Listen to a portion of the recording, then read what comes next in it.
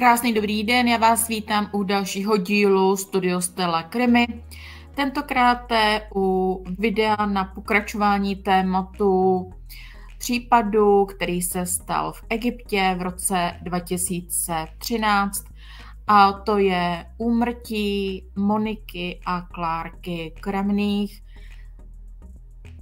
Nepoužívám slovo vražda, protože myslím si, že je tady, byť byl tedy manžel paní Moniky a tatínek Klárky pravomocně odsouzený, pořád se domnívám, že je tady spousta nejasností a o tom si budeme dnes povídat. Jak můžete vidět, tohle to jsou skutečné záběry z Egypta a mám zde připravený horoskop, události, kdy v raných časných teda hodinách 30. července v roce 2013, konkrétně ve 3 hodiny ráno, 41 minut, došlo k ohledání těl na pokoji v hotelu a byla teda konstatována smrt, tedy úmrtí. Takže budeme pracovat s horoskopem té situace. Pojďme konkrétně na to.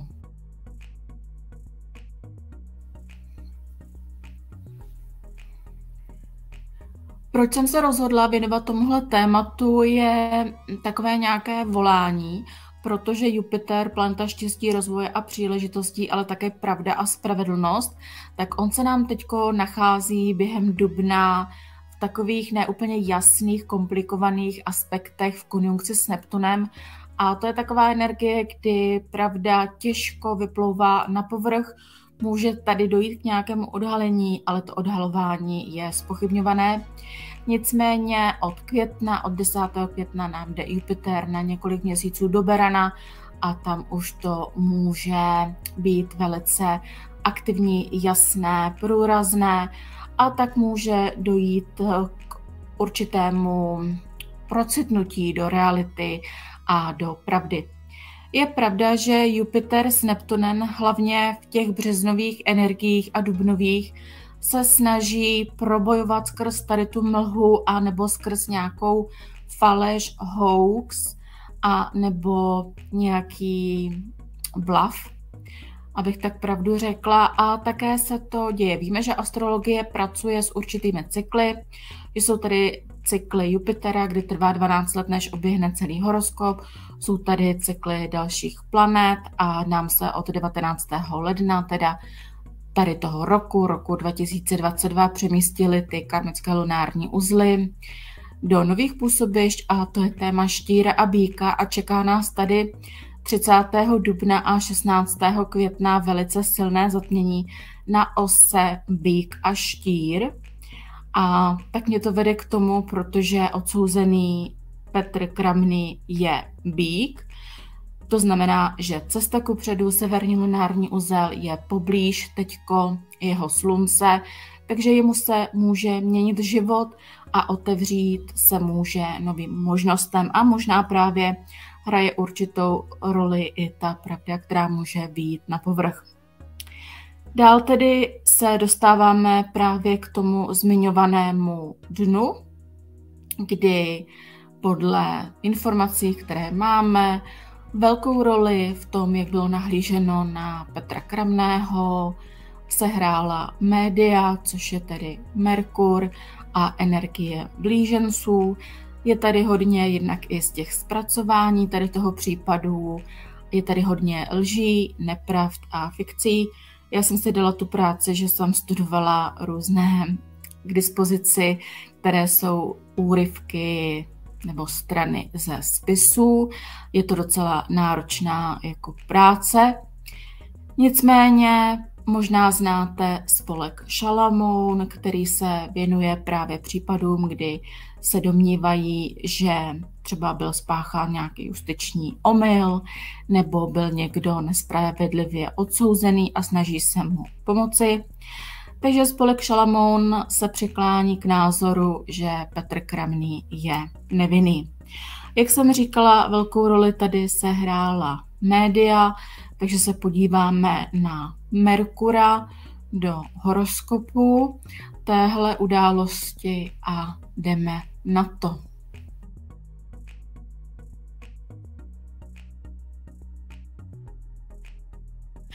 Takže tohle je horoskop toho konkrétního data a dne. Jak jsem říkala, je to 30. 7. 2013 pro Hurgádu, Egypt. A tady tedy je ten čas toho ohledání těl zemřelých eh, paní Moniky a její dcerky Klárky. Takže o co se tady jedná? Máme tady slunce ve lvu, lev to je dovolená zábava, léto, moře a Egypt, tam vlastně je taky pod vládou lva a slunce, takže se tady jedná o dovolenou. Dál tady máme další planety a pokud mě znáte, tak víte, že já pracuji i s dalšími prvky, takže jsem se sem přidala další prvky, jako je pravda, tohle je Venuše, tedy ženská energie, pak jsem sem dala asteroid nebo prvek, který představuje Klárku, ale protože to tam je dvakrát a já jsem cítila, že mám použít obě, takže jsem použila tady Kláre anebo Klára. Což obojí taky může být zaměněno za jasnost. Dál tady máme asteroid Monika, spravedlnost, elektřina, Petr jako Petr, poisoning, tedy otrava. Takže o co se nám tedy jedná? Jupiter je energie, která odpovídá za zahraničí, cizinu a také Jupiter bere na cesty. A Jupiter ve 12. domě nás může vracet zpátky do proudu života. Takže máme tady téma zahraničí, ciziny, dovolené, spravedlnosti a pravdy, která když je ve 12. domě, tak je těžké se k ní dostat. Dál tady máme Marse, což je mužská energie, je to agresivita a je to také naše činnost. Tady nehovoříme o horoskopu konkrétní osoby, ale o události. To znamená, že Mars ve 12. domě může znamenat, že jsou to věci, které jsou mimo naši kontrolu, které se staly osudově nebo jsou nevysvětlitelné nechápeme to a tím, že to je v raku, tohle byla rodinná dovolená, radší energie je rodina, zázemí, matka. A máme tady právě zmiňovaného Merkura, což Merkur je tedy planeta myšlení a komunikace. A ten je taky ve 12. domě, což znamená, že není nasloucháno pravdě, je možné těžké se s někým spojit, vykomunikovat. Tohle všechno může vypovídat o tom, že tahle rodina mohla mít nějaké problémy, klidně mohla je chtít řešit v zahraničí, a nebo si prostě jenom chtěla užívat dovolenou, protože 12. dům je také dům vzdálených míst, je to odpočinek a relaxace, takže nemůžeme tady říkat nic zásadně negativního, prostě dovolená na zahraničním místě, ale protože tady přítomná také černá luna, je tady nějaký problém, strach, komplikace. Dostáváme se teda k dalším těm aspektům. Tady pravda se nám schovává ve druhém domě, to znamená, že to může být pravda, která je pro někoho výhodná. Ve třetím domě myšlení a komunikace se nachází Venuše, tedy energie ženská, je tady ta jasnost, anebo Klárka. Mohli bychom to brát tak, že tohle je energie paní Moniky a tohle je energie Klárky. Je to v paně ve třetím domě, to znamená, že se stala jejich um, zdravotní nebo v podstatě jejich zdravotní problém nebo ta situace, ve které se ocitli, to znamená, že bohužel eh, zemřeli, tak se to stalo terčem určitých eh, informací, mohlo by to být klepy, šíření, bylo toho využíváno, zneužíváno. Je to ve třetím domě komunikace, jak jsem říkala, tady velkou roli se hrály právě ty média, hlavně bulvár. Dál se tady dochází k tomu, že máme ve čtvrtém domě rodiny, kořenu maminky, energii právě paní Moniky a spravedlnost ve vahách. To znamená, že tady ta spravedlnost, ten soudní proces, který bude následovat, se bude odehrávat v rodné zemi, protože to je čtvrtý dům, jsou i rodina, ale i rodná zem, vlast oproti tedy devátému domu, kde je chaos, zmatení, tedy ten chiron v rybách, jsou vlastně určité zmatky, které bohužel tady, tady tomu případu uškodily. Dále tady Saturn, což je určitý řád, právní systém, který taky v té vlasti těžko dosáhne na to, co se stalo vlastně v tom Egyptě. Je tady hodně zmatku, tady vidíme, že jsou tady aspekty na Neptun do osmého domu. Osmý dům je téma sdílených energií, financí, taky karmy, smrti. Mohli bychom říct, že nevíme, co se stalo, Neptun sem dává iluze a nebo lži, a nebo nejasnosti. Takže my víme, že to je určení vlastně umrtí obou uh, žen nebo maminky a dcerky, takže jsou tady jisté nejasnosti a možná nikdy ta pravda a spravedlnost nevíde na povrch, protože ten Neptun je poblíž hrotu devátého domu, to znamená, že ovlivňuje i osmý i devátý dům. Tím, že tady Neptun se nachází poblíž hrotu devátého, může to znamenat, že právě zabarvuje i ten dům devátý, což je spravedlnost, justice, pravda, cokoliv je v zahraničí, je takovou achilovou patou, protože tady vlastně ten chiron je archetyp zraněného léčitele, to znamená, že jsou tady neustále jako pokusy něco někam dotáhnout, něco určit, konkretizovat, ale neděje se to snadno.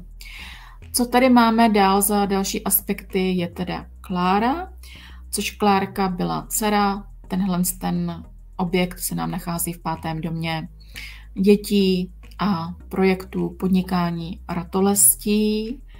A dál tady máme tedy téma té každodennosti anebo fyzického zdraví, tak tady je Pluto a dokonce se nám tady nachází elektřina. A o čem tady pořád jsou spekulace, zdali se jednalo o otravu, a nebo o vraždu elektrickým proudem. Je to velice náročný případ, ale jak jsem říkala, díky tomu, že Petr Kramný je býk a bude mít zatmění na svém slunci, může se to znovu dostat do naší pozornosti a může znovu být tohle téma otevřené. Petr, tedy Petr, to je vlastně objekt, který se nachází v desátém domě otce. Takže v domě matky se nachází paní Monika, v domě otce se nachází Petr, v domě dítěte se nachází Klárka. Jak se to jeví, je, je jako rodinná záležitost na dovolené. A ti druzí, těm se to jeví, že velkou roli sehrála elektřina. Ale jak to bylo? Byla to pravda? Vyjde to někdy na povrch? Nyní se společně podíváme do dne, kdy byl Petr Kramný odsouzený. Tak a tady jsme v ten den v těch souvislostech. Takže v den rozsudku za pravdu je považován způsob usmrcení elektrickým proudem. Vidíme, že elektřina stojí přesně na pravdě ale je to pořád ve druhém domě, což znamená, že to je pravda, která je pro někoho výhodná.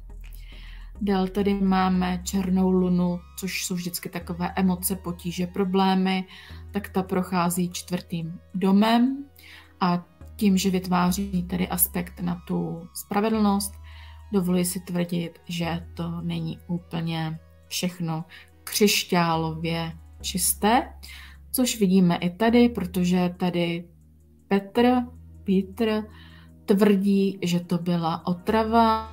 Tady pořád je ta otrava v kombinaci s tím objektem, tady, který je Petr. Dál tady máme hodně emocí kolem toho, je tady teda spravedlnost řád a je tady nějaká žena, která se tady hodně, um, jak bych to řekla, hledám tady slova, která to tady hodně ovlivnila. Může to být teda jednak soudkyně, která tam byla, a jednak to může být i nějaký právní zástupce, který tady patří k paní Monice, protože to je ženská energie. A my víme, že tím případem se zabývala i právnička Klára Long Slámová, která byla zmocněncem a právním zástupcem poškozených. Dál se tedy dostáváme k tomu, že slunce s Plutem nám tedy stojí na té elektřině, takže bylo to tam vmanipulované, a nebo to je skutečně pravda. Vždycky, když je někde Pluto, je třeba být opatrný. Dál tady je pravda s Merkurem, který je ale retrográdní. To znamená, že tenhle rozsudek byl vynesený v době retrográdního Merkuru, tak my víme, že tyhle ty věci dlouho netrvají, i když tady už nám běží několik let, ale může se stát, že dojde k zvratu. Jak víme, energie pracují. Dál se dostáváme do devátého domu právníků, pravdy a opět nám tady stojí Neptun na hrotu, protože to je celkem pomalá planeta. To znamená, že tenhle rozsudek není úplně jasný, jsou tam nějaké otazníky, i když došlo k odsouzení. Jak jsem říkala, jsou i právníci, jsou i představitelé vlastně soudních znalců, kteří nesouhlasí s tím, že se vůbec stala vražda, ale o tom si povíme v nějakém dalším videu. Tady vidíme, že je tady pořád ten Neptun s tou Klárkou nebo s jasností, je tady Chiron, je tady paní Monika, je tady minulost, protože to stalo v roce 2013 a je to v tom devátém domě pravdy, ciziny, zahraničí, takže astrologicky to sedí úžasně. Opět spravedlnost nám tady stojí na té černé luně v době, kdy se to stalo. Takže podle astrologických energií, aniž bych nějak měla nějaké sympatie k odsouzenému Petru Kramnému, se domnívám, že tenhle rozsudek není založený na základě skutečností tak, jak se staly. Ale o tom si budeme více vyprávět v dalších videích. Zatím se s vámi loučím.